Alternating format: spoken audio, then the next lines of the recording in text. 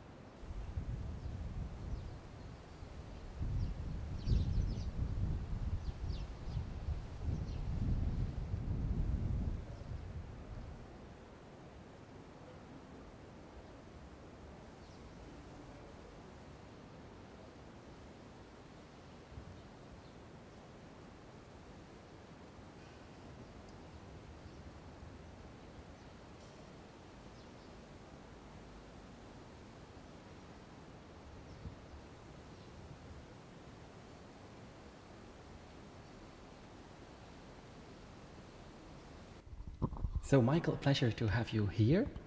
Can you start uh, with a sentence just introducing yourself, your name, and what you do? Okay. Well, my name is Michael Shea, and I am a teacher and a practitioner of cranial sacral therapy. And I've been practicing as a manual therapist and a cranial sacral person for probably 30 years now. I would like to understand how your way of working changed. How did you start with craniosacral work and where are you at now?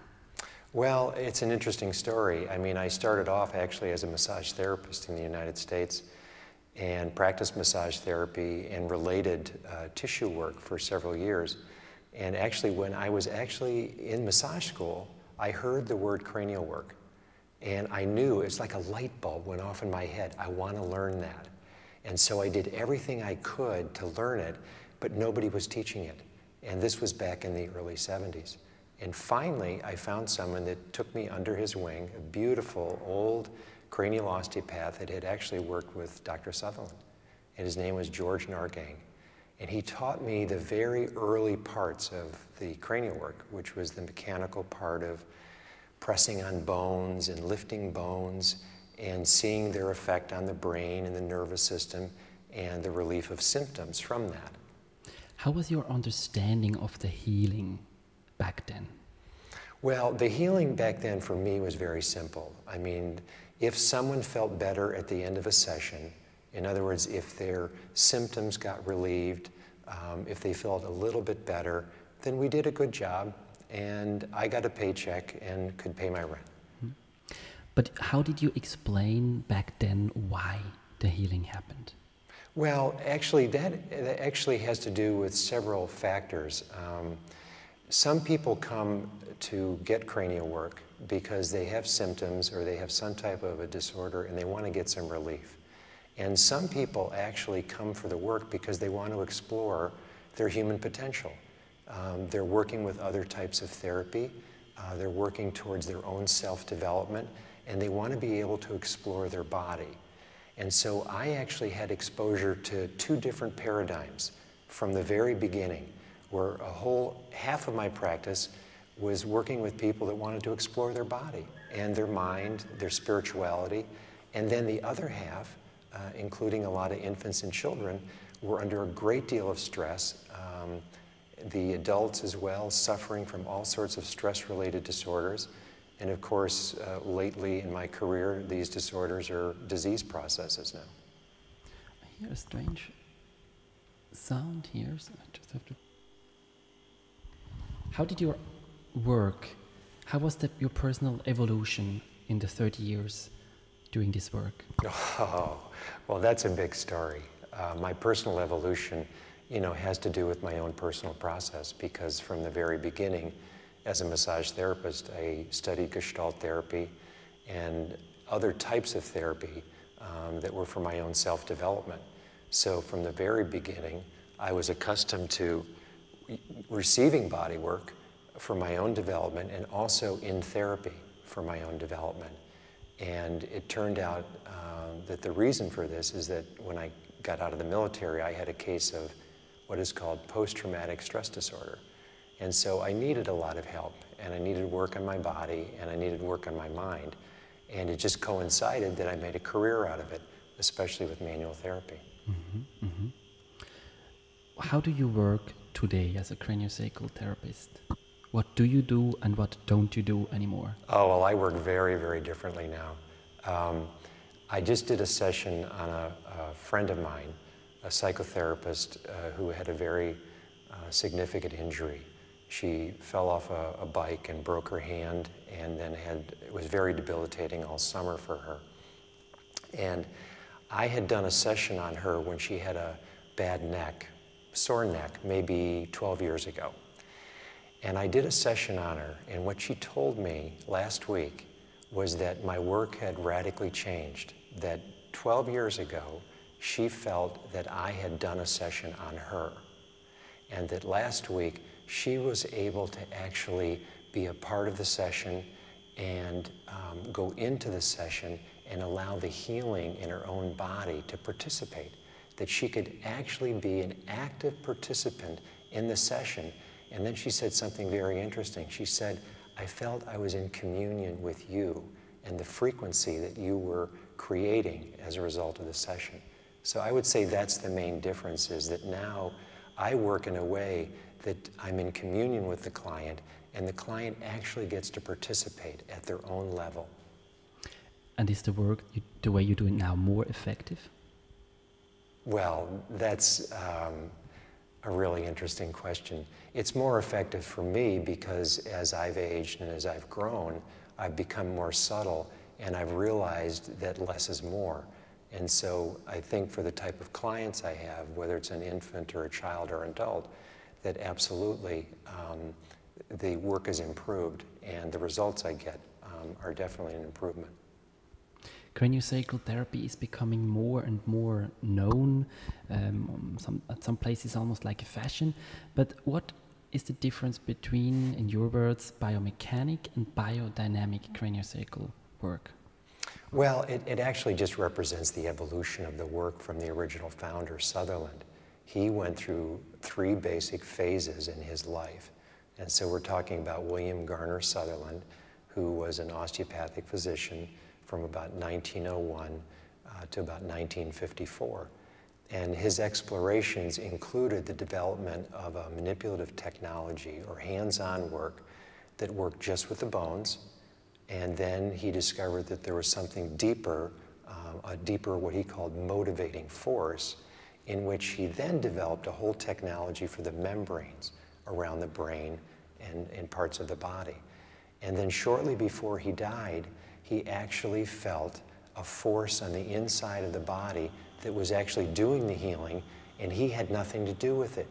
And so he changed the entire model towards a biodynamic approach where it was extremely light touch and the attention of the practitioner had to be sacralized or it had to be with a great deal of reverence and respect, are his words. Very interesting. So, does it mean the more you develop your skills and understanding, the less you physically actively do? Absolutely. Absolutely. There was a very interesting piece of research that was done at the University of New England College of Osteopathy probably uh, about 10 years ago. And they wanted to really find out okay, so some cranial people say you get results with this one fast rhythm in the body that's in the brain, and other people say it's a slower one. So they got 10 cranial osteopaths in a room. They wired them up with all sorts of computer things on their, their heads and everything. And then they had a patient on the table, and they put a little button on the leg of the massage table by the knee of the practitioner.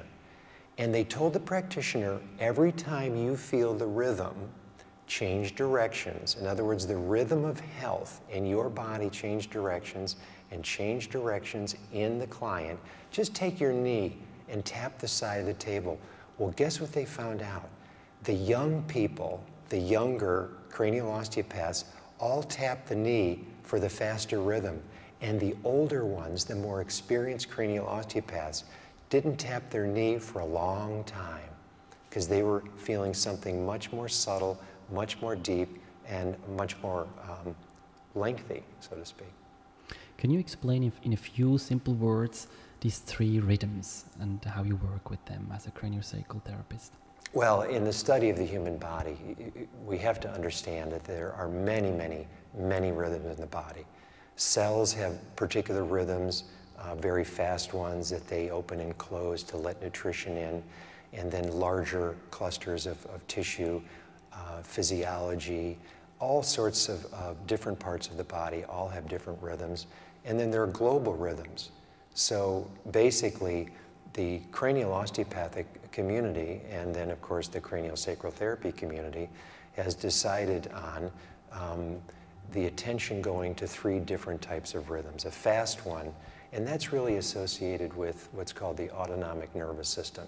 And that's really the system that manages stress and that speeds things up in the body.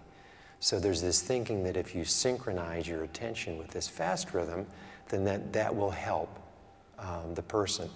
And then they have, science has now found slower rhythms in the brain, in particular called a mid-tide rhythm, and we have found that that rhythm also is very valuable to synchronize attention with because it allows the brain to relax. And then the slower rhythm has actually been found throughout the body, uh, in all the fluid compartments of the human body, and seems to be associated with a much deeper healing response because the way it actually keeps the entire body connected. Every single part of the body, every single cell is connected to this one rhythm. Which rhythm do you like to work most with? Um, I'm over 60 years old now, so I like the slow rhythm. Absolutely. I have found that that is the most beneficial um, because it teaches me the most. When my attention is on the slow rhythm, I actually get a learning. It, it tells me, and directs my attention um, to where to look in my own body, even while I'm working, in order to slow down. And then it actually tells me where to look in the client's body. Let's talk a little bit more about the work um, of a therapist and how to become a therapist. Do you need to have a special talent to learn this? No, I think you need to have an open heart, and I think you need to be willing to, to be lighthearted. What does that mean? Well, I think, I think there's a great deficit in our country and our culture right now, and I think there's a great lack of, of humor um, and lightheartedness. And I think that the antidote to the fear that many people experience uh, in many countries, um, and certainly many clients come in experiencing a lot of fear, whether it's about their job or their finances, that the antidote to that is providing a sense of lightheartedness and a sense of open-heartedness. And it turns out that when you put your attention on a slow rhythm, that your heart feels lighter and you actually feel happier. And so actually you could say that this is an empathy-based model of work, uh, the slow rhythm work. What is your vision uh, about the therapy training in Cyprus? Ah, Cyprus. Well, it's a, it's a beautiful vision because craniosacral therapy is now worldwide. You can find it throughout the whole Pacific Rim, throughout North America. It's moving into Central and parts of South America. And really the last uh, major part of the world, um, other than Africa, is the Middle East. So it makes a great deal of sense to come here to Cyprus, which is the, the, the center point for the continent of Africa, for the European continent, and for the entire Middle East. It's a beautiful central point uh, that we could have this type of unification between Europe, the Middle East, and Africa. How does, will this training look like? How will this training look like? Well, right now, um, the traditional training that's offered, uh, let's say in North America or Great Britain or Europe, is a 700 hour training that involves 10 levels. Each uh, level of training is approximately four or five days with a massive amount of homework, all of which is necessary for someone who already has a background um, in manual therapy or has training in anatomy and physiology. So we're going to change the whole training around and actually do it in two parts because we want to simplify it, number one, because it needs to be simplified, uh, and make it easier for people to attend so that we can give them the information they need um, and apply it right away so that they get it in their hands um, with a certain amount of homework. Um, but the homework is associated with doing practice sessions and not have to worry about a lot of reading. So we will call this, uh, or I would call it what is called an applied training where we apply all the information, all the theory, and we put it in their hands, get it in your body, and apply it to the client. What will the students of this training in Cyprus learn? What kind of skills will they develop? Well, the focus that I have um, is in the new science areas, and the new science areas talk about um, focusing on the heart um, as a way of changing the brain and increasing empathy, love, and compassion. So we are going to orient this entire training um, around a heart-centered training where we actually put attention on the heart as a felt sense in the body. We put attention on the blood, the slow rhythms of the body, and that generates empathy. And we want to be able to have students that can generate a tremendous amount of empathy to support the peace process that's going on, not only here in Cyprus, but throughout the Middle East. And it's not just the Middle East, it's throughout the entire world. So what we're going to do is have a heart-centered training uh, that's focused on love and compassion and all the new science that's associated with how to promote love and compassion through the body, through the use of human touch, through the use of craniosacral therapy.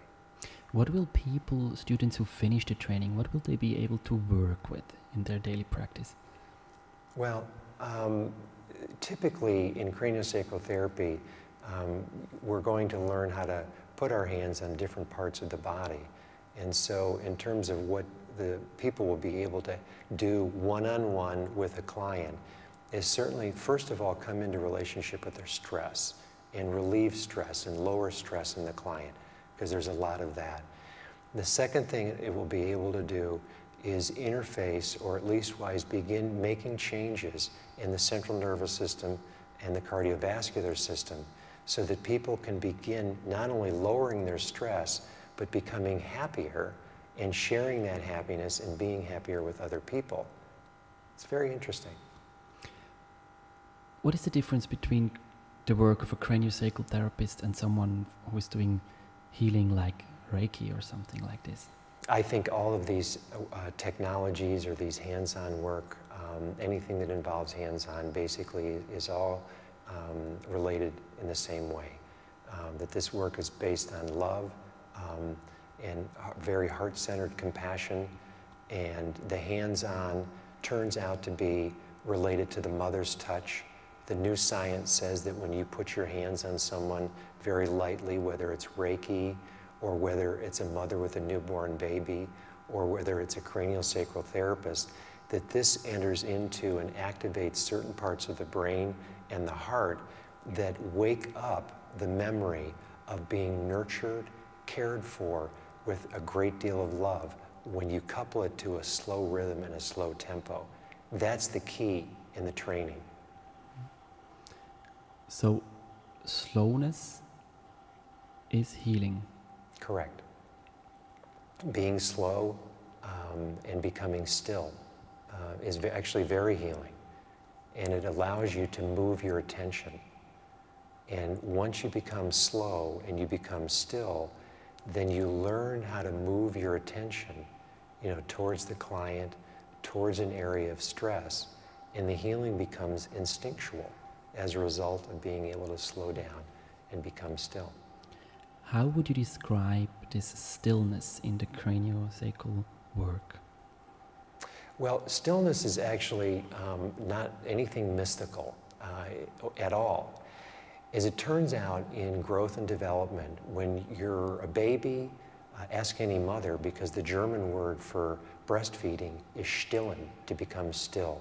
Every mother knows that if that baby is going to grow and develop, there needs to be a certain sense of stillness, especially when it's breastfeeding. And it turns out that that's true in fetal development and also in embryonic development. When we're just the size of a little lentil, we have a cardiovascular system and we have a metabolism that's built around stillness. There's areas in the embryo and in the fetus that are actually very still that contribute to the correct and normal growth and development, not only of the central nervous system and the heart, but also the entire body. So you absolutely need stillness to grow and develop scientifically. Absolutely. I'm going to turn off the light here. Because she always wants to do that. And you don't say a word that I told you that either. No, no, no, no, of course not. Of course, I would never think she's too old for that. um,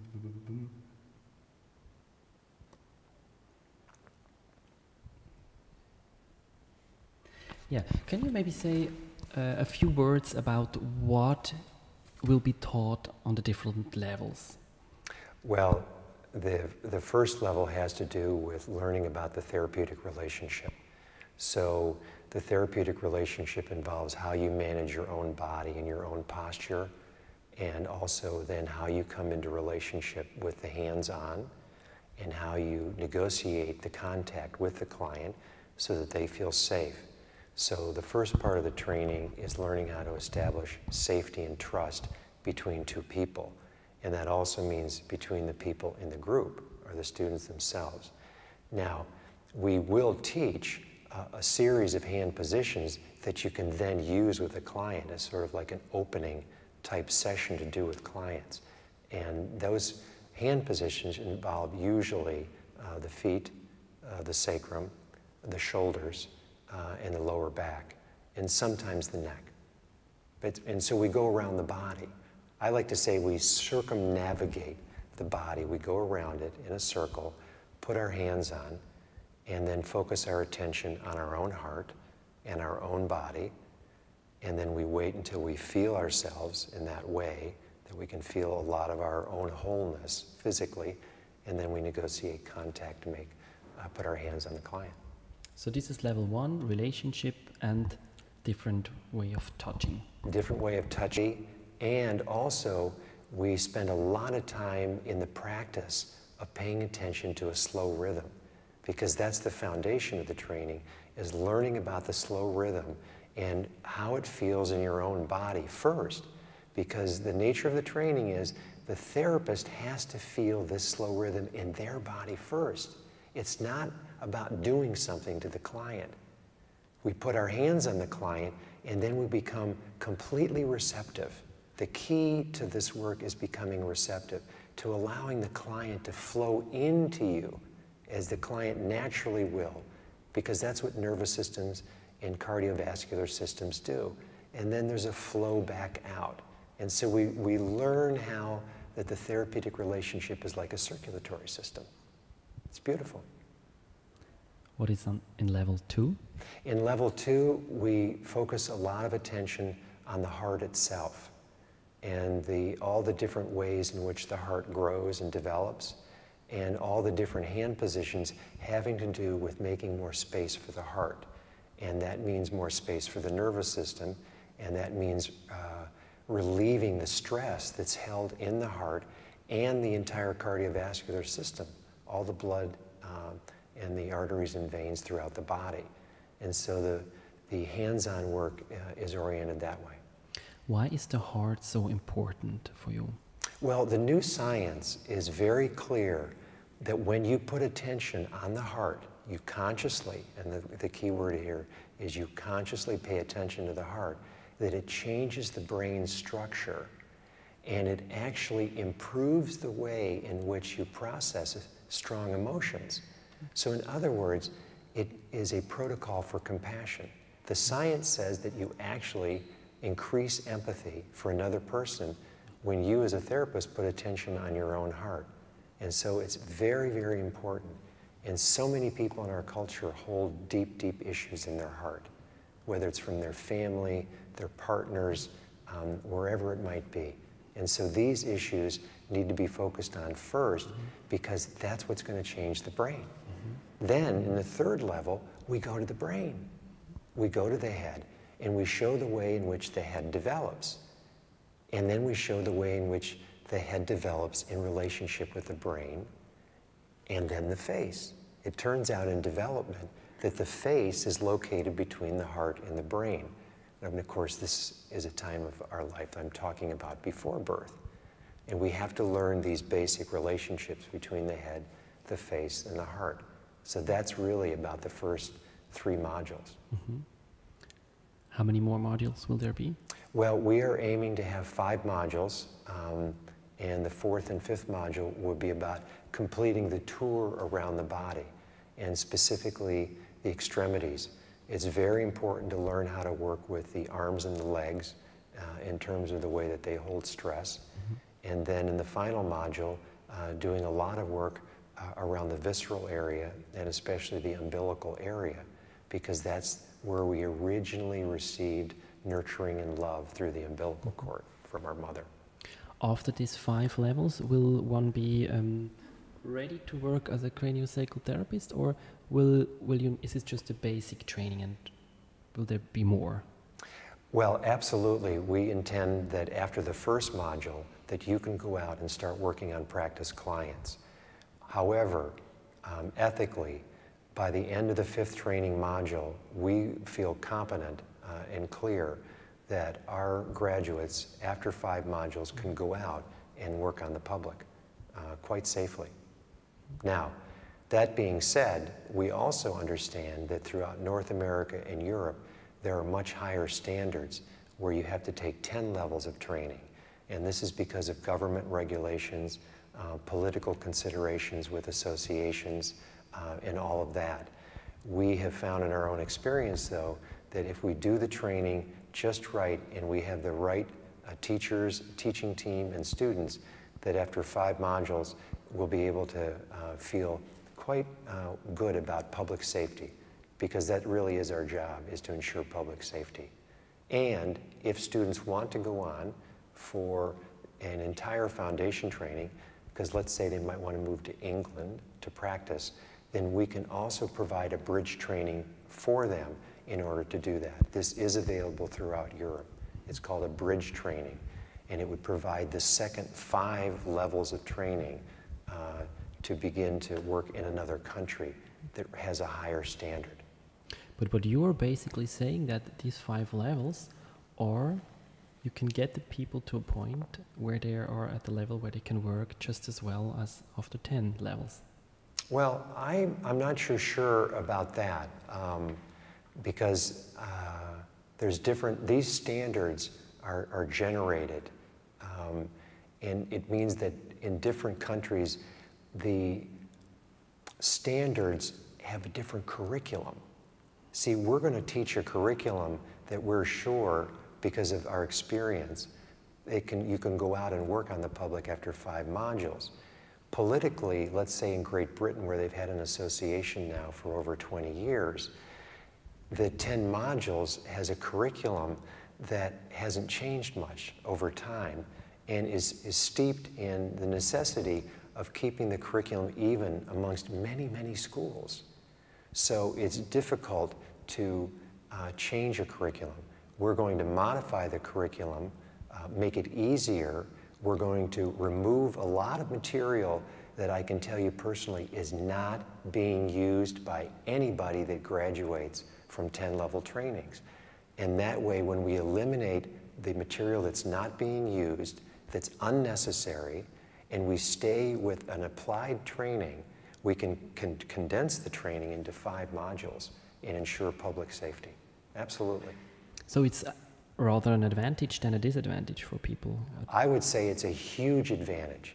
It's a huge advantage that we don't already have a cranial association in Cyprus. I've been a consultant to several uh, associations. I have started two associations myself, and very rapidly it becomes very difficult to actually become creative with the work. So this is why we have a lot of freedom here in Cyprus and in the Middle East. And our intention is to stay uh, with this freedom and this creativity. Your vision in 10 years, how many therapists would you like to have, have well, trained in Cyprus? Uh, after 10 years, um, if we do start a training every year, uh, and then we graduate a training every year starting in two years, um, we're looking at exponentially, possibly 20 to 30 per year. So the mathematics on that would be, you know, over five years, possibly 100 to 150 therapists. Mm -hmm. Is there anything that you would like to mention or stress, or are you happy with what has been said by you so far? Ah, no, I think uh, what I've said is, is really important because uh, we have a lot of freedom and creativity. The new science is very clear that if we focus on our heart, we can have this protocol for compassion, and that's actually what we're going to teach mm -hmm. within the context of this model, and make sure that everyone feels safe and trustworthy of the work. Thank you so much. You're welcome. Perfect timing. The, the tape is just finished now. Okay.